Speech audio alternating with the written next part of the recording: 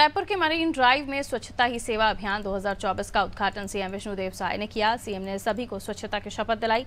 बता दें कि स्वच्छता अभियान 2 अक्टूबर तक चलेगा और इसके अंतर्गत नगरीय निकायों में स्वच्छता ही सेवा पखवाड़ा भी शुरू किया गया है।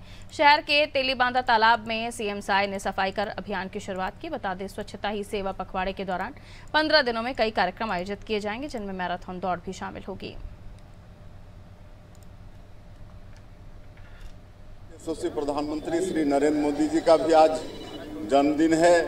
छत्तीसगढ़ की तीन करोड़ जनता की तरफ़ से उनको भी जन्मदिन की बहुत बहुत बधाई, शुभकामनाएँ। और भगवान से दुआ करते हैं कि वो स्वस्थ रहें, दीर्घायु हों और 140 करोड़ भारतवासियों की इसी तरह से सेवा करते रहें। सेवा ही, स्वच्छता ही सेवा है। ये स्वच्छता पखवाड़ा का आज शुभारंभ कर रहे हैं। अगले पंद्रह दिनों तक स्टेप बाय स्टेप ये कार्यक्रम कई तरीके से चलेगा। इसमें मैराथन दौड़ का भी आयोजन है। लोगों को जागरूक करने के लिए कि स्वच्छता को अपनी आदत बना लें और स्वच्छता सबको अच्छा लगता है। इससे बीमारी वगैरह भी नहीं फैलती है।